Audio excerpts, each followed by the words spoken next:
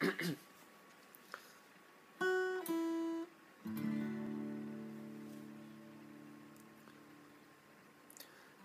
vil synge om min sorg, om en pike Ingeborg som får ild for knust mitt unge hjerte. Og med tårer her jeg står, og min harpe langsomt slår, får det lettere å få trykke ut sin smerte.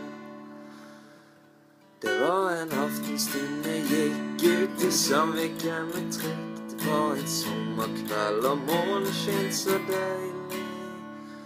Inte vondt jeg tenkte på hvem turen ville gå, men han endte nå så svinakten uheldig. For på fjellveien der sto det. Der sto det en pike lille og lo. Var så storskjerm at jeg tenkte du forfrøste.